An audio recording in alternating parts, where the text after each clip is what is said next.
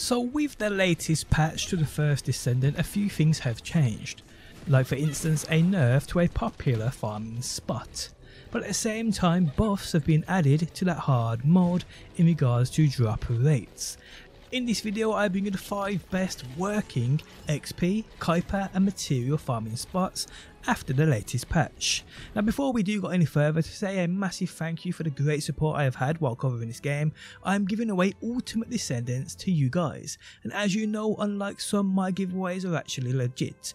So I will pick one person on a weekly basis who supports what I do by liking and commenting on my videos. The more I see you, the more have a chance you have of winning. I will pick winners from the comment section and announce them on Sunday's video. Also guys join my discord link down below, let's build an amazing first descendant army. So with them basically nerfing one of the farming spots in this game, with the White-night Gulch Fortress Outskirts farm uh, taking a hit, I feel we might actually see other nerfs to popular spots in the future. But today's video guys I bring you 5 plus working farms that you do want to take advantage of as they're all working after the latest patch. Now I will say I tried and tested these farms on my bunny on hard mode with a semi decent build but numbers I mentioned will take into account not everyone and their descendant can run as fast as Bunny. So let's get into it guys and in no particular order. First up we have the Kuiper Mine mission on Sterile Land. Now this is a new addition to the farming family uh, and it is a great great farm. Now the reason this one is so good is the fact it's so so easy to do. Plus it's a mission where there's no limit on the actual enemy in regards to how they spawn, so the quicker you take them out, the more that spawn in meaning the more you earn. Now, me in a team of bunnies, the best I could get in that 5 minute timer mark was around 12k Kuiper shards. But I have seen a couple of players hitting that 17k mark per run. Now I feel this isn't a realistic number for most players. Now if we do the maths with this one, let's say you average 12k per run, of every 6 minutes, that's 2000 Kuiper shards per minute, which works out to be about 120,000 per hour. Now even if we do the maths here on 17k per run, which isn't likely, but it is possible for some players. 17k divided by 6 as it takes 6 minutes per run, uh, given you have to start the mission and run to the mission and take out a few enemies first, that's around 2,834 per minute. Now over the course of an hour you will earn here getting 17k per run about 176,000 per hour, which isn't bad at all because we ain't taking into account duplicate modules being dismantled here for even more Kuiper shards.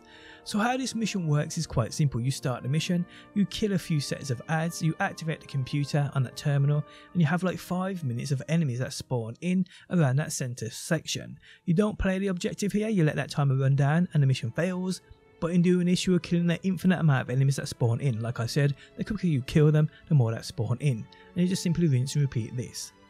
Okay, so next up guys, we have the water cooling mission within the Moongrave Basin area on White-night Gulch. So this is a farm I'm still yet to see many many people cover which is really surprising to me because it is an incredible farm. You earn tons of XP, Kuiper shards and everything else.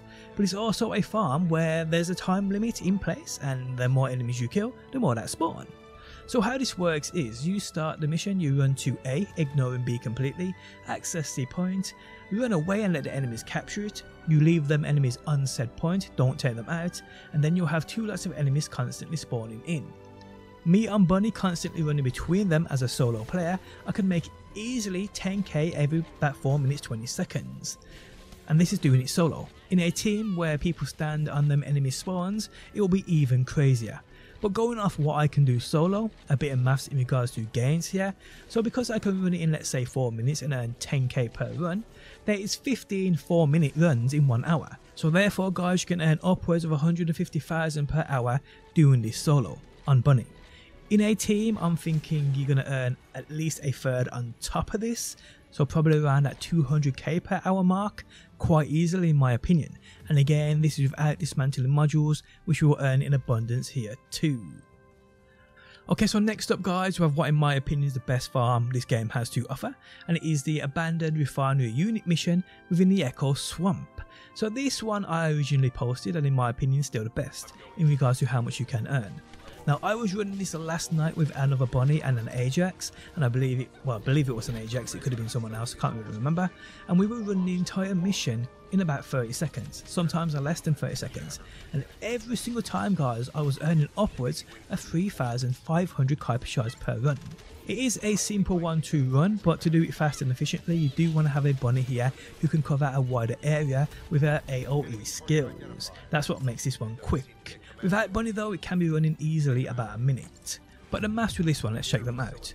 So I can run this on bunny, let's say I get 3500 every 30 seconds in a team because the mission is short and it's basically started as soon as it's finished that's easily around 7000 per minute to make this a little more realistic though because I know a few seconds may be lost in between starting and finishing the mission let's drop that number down to 3200 per run so 6400 per minute that's basically guys 384,000 per hour guys which on average is about as much as I personally feel I was doing last night easily on bunny. But let's say you ain't bunny here and the run takes you a minute. Let's say you earn 3500 every minute. That's 3500 times 60 which equals 210 thousand guys which is still a massive amount per hour to earn a really really good number and an easy spot to do and remember guys this is without dismantling those modules too Okay, so next up people we have a classic, the anticipated ambush mission back on Sterile Land. This one like I said is a classic, but under my testing it still works actually great because it's so short and easy to run. It's perfect for a team or even a solo player as I was doing this mission easily in under 30 seconds, most of the time getting about 1700 Kuiper shards per run, which is great. So doing the math with this one of 1700 per run in easily under 30 seconds, that's easily 3400 per minute. So within the hour keeping this momentum up, that's around 204,000 Kuiper shards per hour, which is not bad at all. Now a quick little edit to this video as I come across this farm after I'd already made this video, so I just re-edited it. Uh, there's a new farm that's been discovered which is by far the best farm in this game if ran in a team with Valby's. Now doing this solo on my bunny on a private lobby, it's nowhere near the best. We're doing this in a team of Valby's, the difference is unbelievable. It's this zone recon mission right here within the fortress region. What we do here guys is to make sure it's on hard as well. We start up the zone recon mission, and we take out the four points of A, B, C and D and then the boss spawns in. Now we leave the boss, we don't take out the boss whatsoever, but we take out the ads that spawn in and around the boss and it's a constant flow of enemies for about two and a half, three minutes constant flow of them guys they spawn in indefinitely now the quicker you take them out the quicker they spawn in now doing this on a bunny i mean it's okay but your gains ain't the best Doing this with a team of Valbies where they can lay that water down on the floor, the enemies die as soon as they spawn in. So they're on a constant cycle of basically spawning in and dying. So the, the amount of XP you gain from this is unbelievable. Uh, the amount of Kuiper shards you gain from this, uh, you're seeing this footage on screen now. My mate was getting 22,600 per run. And it was taking 3 minutes per run. He's also getting just under 300,000 uh, gold getting over 130,000 weapon proficiency. It's utterly unreal. Now, in regards to what you can earn in a team here, in a full team of Valbies or in a full team of people who can take them out just as quick, I mean, if we divide 22,000 to say 500 by 3, because it's 3 minutes per run, that's 7,500 per minute. If you times that by 60, that's 450,000 Kuiper shards per hour. The best I've seen so far without a shadow of a doubt. And what's great about this is because we ain't taking out the boss as soon as it's failed, because it will fail. Uh, you just run out the area, and when I say run out the area, I mean just run about 10 foot away from the zone recon mission. Once you run back into it, you can instantly restart it and restart the farm cycle again. So you can do this over and over and over with no cooldown whatsoever. Utterly unbelievable. Take advantage of it while you can. Okay, so we're going to move on, and there a couple of other Kuiper Shard farms I was going to showcase, but if I'm honest with you, they fall in comparison compared to the ones I've already mentioned. Now, if you know of others, do hit me up on my Discord, link down below. I'll check them out, and if they're good, I will credit you directly. Now let's move on to an insane XP farm. So this one I covered the other day, but still works absolutely amazingly post-patch. Now a bunny or Sharen is needed to start this void fragment mission, but if you're set to private playing on Ajax and you got no team, you run to this area anyway there's likely going to be someone here who can start it, allowing you to earn tons of XP.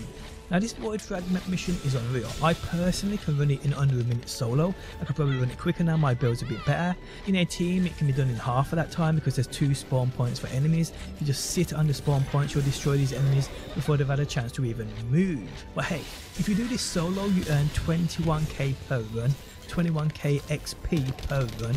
If you do this in a team that drops to 18k because there's shared XP, but even still guys, maths here, if you wanted to calculate it, at worst you'll be earning over 1.2 million XP per hour. If you can run this in under 15 seconds like that wild bunny range build, you can rack up to 5 million XP per hour which is utterly unbelievable people. So yes, if you want to earn that XP, this is definitely the place to go to.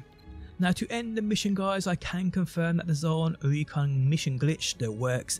Now if you're unaware of what this is, uh, you won't earn thousands of Kuiper shards really quickly here, no XP, but what you can earn is whatever the Zone Recon mission bosses drop in quick succession. And some of these Zone Recon bosses can drop some very very vital materials. So how this works is quite simple. Pick any zone recon mission on the map, it doesn't matter which one it is. Do it on hard, do it on normal, it doesn't matter. Now using this glitch you'll be able to kill the boss over and over literally every 10 seconds. So head to any zone recon mission, start it up as you normally do, destroying the three containers. Once that boss spawns in, take him down to a one hit, or if you are confident you can one hit him, simply step away from the zone recon area until you get that mission failure notification on screen in that red text and red border. Wait until the timer gets down to that zero mark. under zero mark, kill the boss.